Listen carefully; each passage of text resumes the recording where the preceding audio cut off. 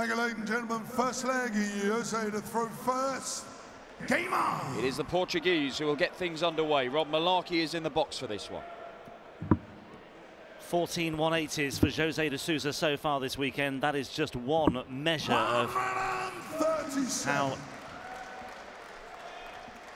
impressive he has been on his European Tour debut. Scott Taylor 6'3", Darren Webster 6'5", Daryl Gurney 6'2", but the other story of the weekend so far for De Sousa is this ability to pass up match dart after match dart after match dart and still bring home the bacon.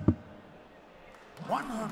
Yeah, and look, his performances, his final averages have been really good, Jose de Sousa. But if it wasn't for the fact that as soon as he gets towards match dart, he starts missing and missing and missing and missing, you could probably stick another five or six points on those averages, in which case they go from being very, very good to absolutely terrifying.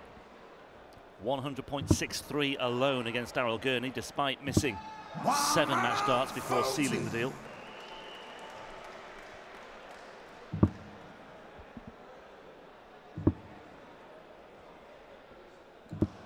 80. was some time ago since Chris Dobey made a quarter-final on the Euro Tour, as you mentioned. It was at the German Masters in 2016. He was beaten 6-5 by Michael van Gerwen in that quarter-final. Dobey averaged over a ton in that one as well. Yeah, MVG going on to win the title, beat Peter Wright in the final. Peter Wright's already been knocked out here. MVG hasn't played this weekend. Things will be different here. 82.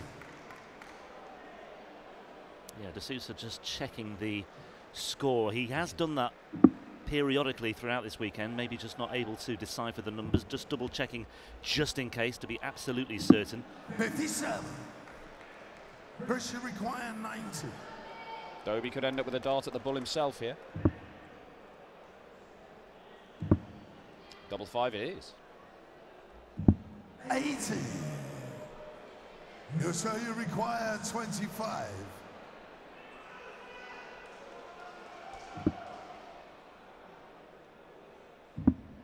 Sousa is off the mark in this quarter-final.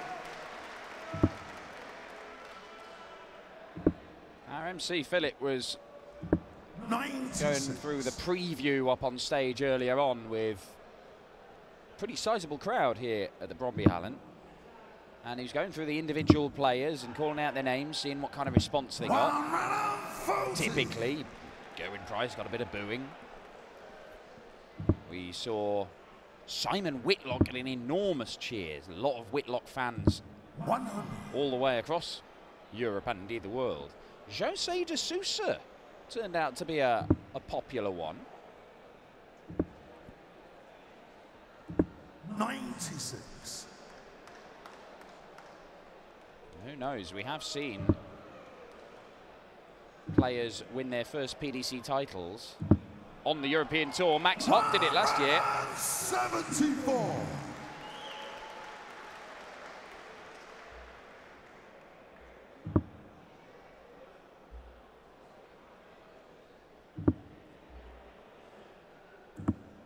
Well, he's got his counting wrong there, Jose de Sousa. Straight ton to leave 165. It is a bit of a theme, getting the numbers wrong with Jose. Yes, we haven't mentioned the 39 steps that he took earlier on today. 91. But this is a great opportunity for Chris Dobey to reach his first semi-final on the Euro Tour.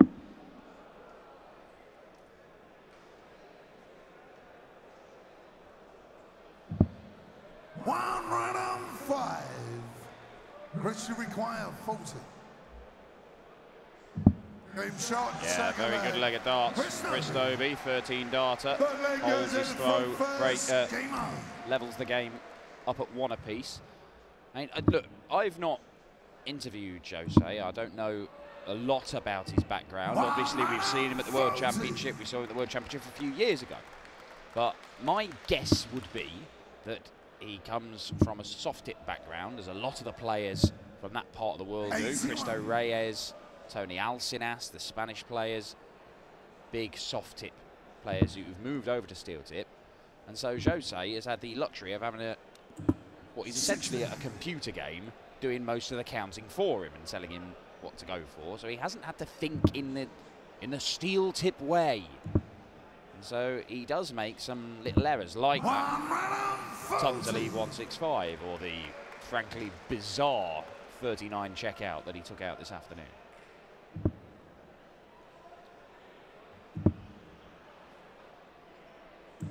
Sixty. But you can learn the counting stuff. You can't teach raw, natural talent, and it would appear that Jose de Sousa has that in abundance with the way he's been playing.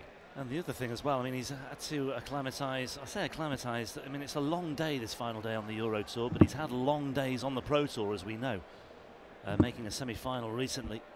And I think that would have stood him in good stead. And I mentioned before that bumper field of 300 people or so to get through the South and West Europe qualifier. I mean, this will be a walk in the park compared to that particular ordeal. Nine matches in a day he had to play to come through that, including the likes of Jose Justicia, who didn't make it through, and Jesus Noguera as well. And I thought that stood him in good stead for going to Q School as well at the start of this year. Which he also successfully negotiated as well. Great dart from Dobey. Chance to break. Really good stuff. Backs up that 13 darter with a 14 darter. Chris Dobey hits the front for the first time. Well, one feature of Dobey's passage to the quarterfinals here has been his consistency on the doubles, not in terms of actually hitting them, but in the fact that in every one of his matches so far, he has produced 6 out of 18 on his doubles. So you know what you're going to expect with Chris Dobey. And it's been enough so far. He's beaten Steve West, Ricky Evans, two very tough assignments for his opening two matches. Kirk Shepherd, former World Championship finalist as well. Yeah, and he's been getting better round by round. 89 average against Steve West, 93 and a bit against Ricky Evans, 97 and a half against Kirk Shepherd. Now, if he carries on with that trend and he can get better and better and better, then Chris Dobey is going to be very, very difficult to stop. Bit snatchy. He does get those sort of jerky, wafty darts occasionally, Jose de Sousa. A bit of the old chizzy snatch about it. Nothing of the sort from Chris Dobey. It's just smooth, elegant throwing style. Well, the bookies couldn't split them prior to the start of this one. They had them priced up at 11 to 10 on the pair, which I was slightly surprised at. I thought they may have just sided with Dobey, given the fact that he has had more European Tour experience. I know Jose de Sousa has seen off Daryl Gurney today, but over the course of a weekend, I think you know that experience does come into a, a bit more of a, a, focus as the, as the weekend wears on, as the Sunday wears on. And the fact that Chris Dobey has plenty more experience of the Pro Tour as well. Should be tops tops here, I think. Can't produce it. Chris Dobey will have a look at 90, just as he did in the first leg. He missed double five in that instance. It's bullseye he wants now. Just double checking with Russ Bray, but the bullseye is missed, and that was for a 3-1 lead. De Sousa with a reprieve for the time being.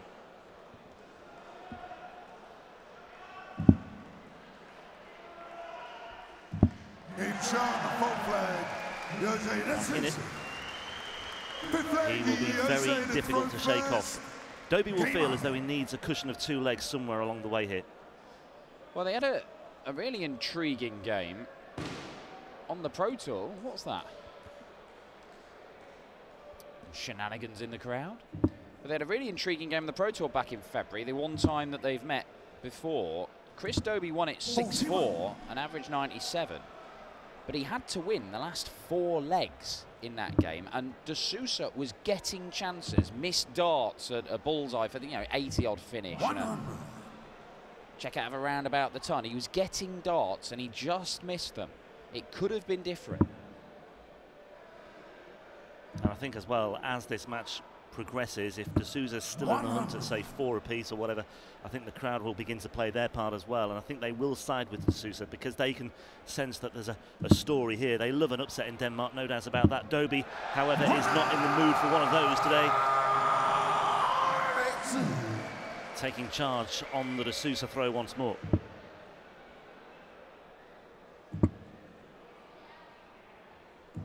One hundred.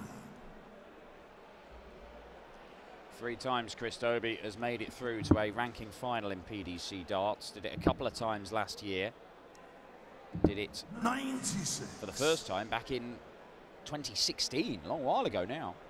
Still searching for that first PDC title. And he's had some very notable performances on the biggest stage of all, hasn't he? Where he's been able to announce himself to a, a wider audience. He had that terrific run to the last 16 at Ali Pali last December, uh, losing to Gary Anderson 4-3 in an absolute epic. Yeah, really did have a, a great chance of beating Gary Anderson, as did Jermaine Wattimena. Mr. Match Dart for a 170 to beat Anderson in the same tournament. Yeah, he, he led 3-2 and in the decider when trailing 3-2 in the legs, he, he missed a big number for a double 16 to allow Anderson back in. And of course, Anderson did the rest. He also played really well against Phil Taylor the year before. It was Taylor's mm. final appearance and it was Taylor's first round match that year. Dobey losing 3-1. Dobey leading 3-2 here now. Yeah, he thought he had Phil Taylor that night. I think it, a lot of people thought Chris Dobey was just cannon fodder for the power in his final World Championship. It did not turn out like that at all. Fairly early on in his career as well, he beat Adrian Lewis in the Grand Slam as well. Made the quarter-finals of the Grand Slam in 2016. Lost to James Wade in the last eight, but beat Lewis in the group stage. So from a, a very early introduction, or shortly after his 100. arrival into the PDC circuit at the start of 2015, it didn't take him long to uh, start making a name for himself. Taylor himself has spoken very highly of Chris Dobey, as indeed of many people, including Gary Anderson.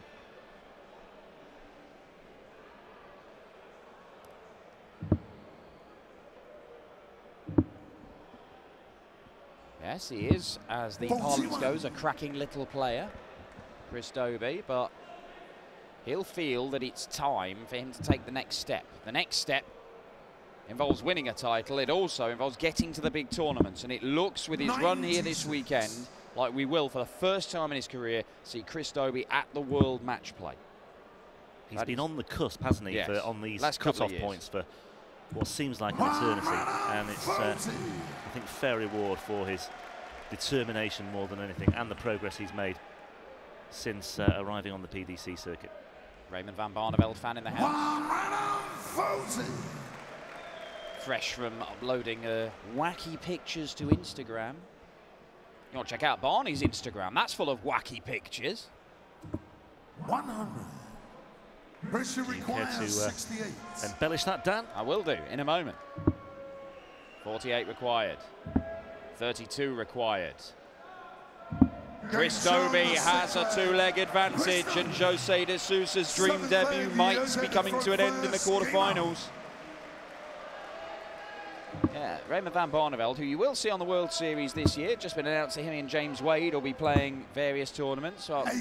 He was expecting to be on all the World Series events last year. So, you know, for example, Las Vegas. Barney in Vegas really like that. So he booked his little holiday, driving around America. You know, sacked off some Pro Tour stuff. Not going to bother with that. Go on a bit of a holiday and just turn up for the World Series. Well, he wasn't picked, was he? So gone all the way to America and planned all of this. I'll be, I'm ready for the World Series, guys. I know. Got somebody else, Ray. He ended up going around all the Midwest and taking pictures of himself dressed as a sheriff, waving guns around and stuff like that. It's very amusing. Didn't win any darts tournaments doing it. But it looked like he had a lovely time. And Chris Dobey's having a lovely time of it here because once again, he has upped his average by four or five points. He's done it every single round so far this weekend and you suspect if he does go through to the semis, he will have to raise it significantly again because Gerwyn Price, the mood he's in right now, uh, you suspect nothing less than 105 will do.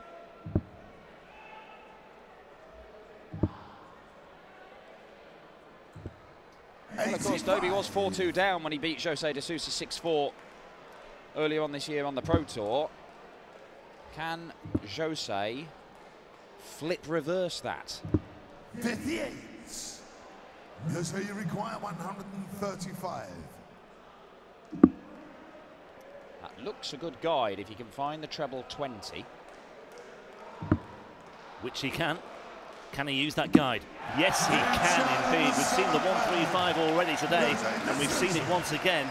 And de Sousa reduces the arrears to 4-3. Not bad, Jose. One runner, voting.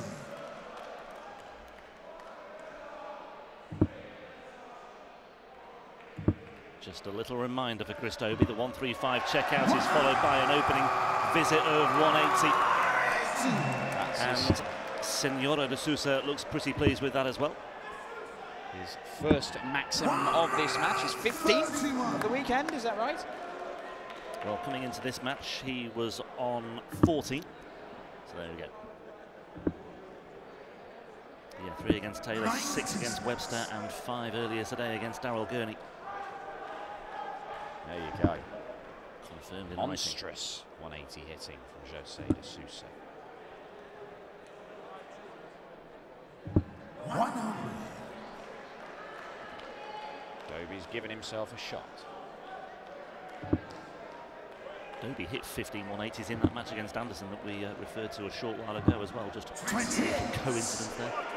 See that snatchy dart, bit wafty, spraying them left and right as Dobey doesn't need to go on the 20s again here. That's fine. So a big high one up near double top. 90s. Yeah, sensible course of action there for Chris Dobey. No need to be too aggressive. No need to be too flamboyant. Just sticking to his principles and playing his percentages very well indeed as he looks to re-establish this lead of two legs and move to within one place of a first ever European Tour semi-final for the 29-year-old from the northeast. Oh my! Chris Dobey, three clear misses. He has not done that in this game as yet until that point, and Jose de Sousa is there to pounce. He's not in, Jose. Stare at it all you like. You need to have another go. That's it. No need to stare at that one. Bang on the money, and de Sousa not in the mood to go anywhere just yet. He trailed 4-2, and he's back in it at four apiece. And well, Chris Dobey will be reflecting on those three clear darts for a 5-3 lead there. Normally, you would expect Chris Dobey to gobble up those opportunities. 100. But that was a good leg by de Sousa, really using that impetus from that 135 checkout at the end of the previous leg. It's a good effect. Well, he did say that in his games so far this weekend, Chris Dobey has missed doubles. He's been round about 30, he's been 33%, hasn't he, for the weekend? He'd only missed three darts at double until that point, and then all of a sudden, we start seeing those misses and it's cost him a leg. It could end up costing him the match. That latest visit by de Sousa is something for Dobey to work with, however, and he's certainly done that. Not quite stolen the darts yet, Chris Dobey, but he's perhaps in the frame to do so.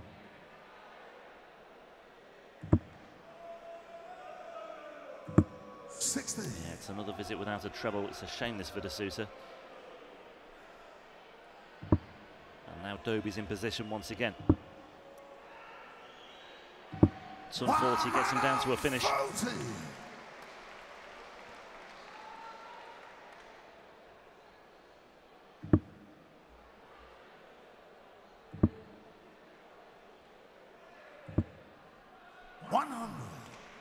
Dobey once again given the luxury of not having to go the bullseye route. So just wants to set this up. May look at the ball. 65. Yeah, gets him to a two-darter.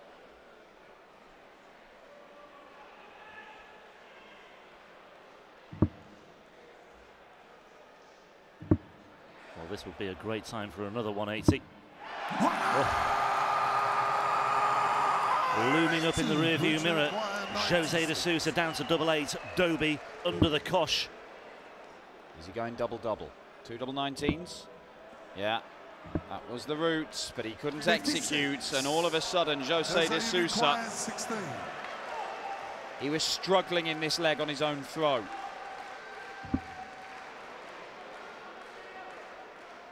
But he's turned it around, and Jose de Sousa is just one leg away from a place in the semi-finals on his European Tour debut. 119. Well, we have had, or we have seen, unseeded players going deep in Euro Tour events. Mervyn King was unseeded when he reached the final of one of these Euro Tour events recently. But on debut, this is a story in the making. 100. Dobey looking to force a last leg decider and he has shown us this year in particular that he's pretty good. In the last one leg is Chris Dobey. He won one game on the Pro Tour this year and on the live streaming boards. Won it with a nine darter in the last leg. One minute 40.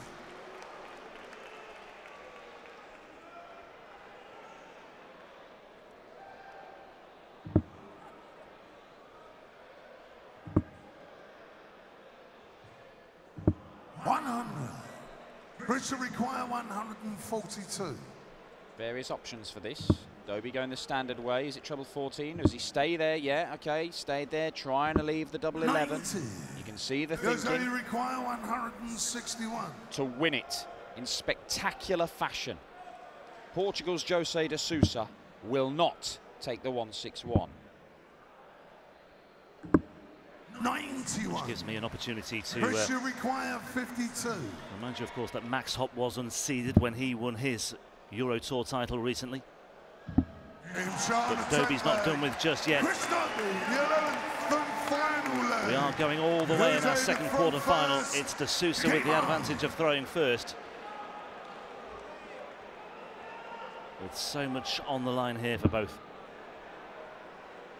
Well, De Sousa needed a last leg to beat Darren Webster in the end.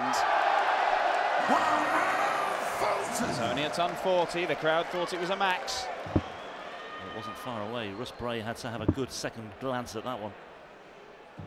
60. Sun 40 plays 60 though. Well, one of the problems Jose de Sousa has had this weekend is getting over the line. Missed loads of match darts before finally doing it against Gurney. Missed loads of match darts before finally doing it against Darren Webster. He cannot afford to do that in this leg because Chris Dobey, even though he trails by a long way in this leg, if it takes him six, seven, eight times, then it's going to allow Dobey an opportunity to steal the game away from him.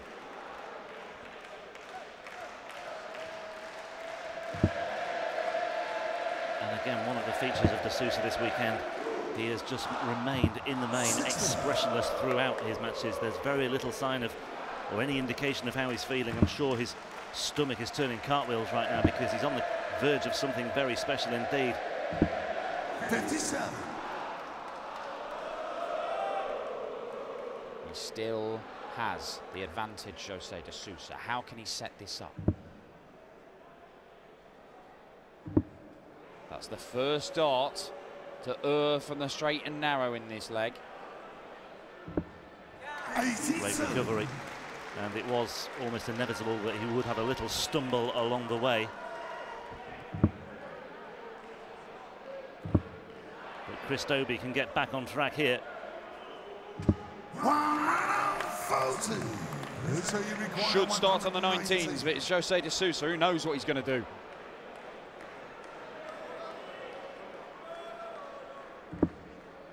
Treble 20 is not there. Dobey has his chance. He needs to take it. He has not checked out anything over a ton in this match as yet. He's going to get a dart at double top. 84. Missed match dart for Dobey, Here's number one. you require 60. De Sousa. Two darts at tops to continue this glorious adventure here in Denmark. A country renowned for its fairy tales, but there's no fairy tale just yet. Both men have mismatched darts. Jose de Sousa once again unable to kill the game off at the first attempt. And Chris Dobey looking to make the semi-finals on the Euro Tour for the first time in his career is through to the final four here in Copenhagen. What a debut for Jose de Sousa. We've got a serious player on our hands, but we've known for some time now that Chris Dobey is an incredible talent. And maybe tonight is when he takes the next step and wins his first PDC ranking title.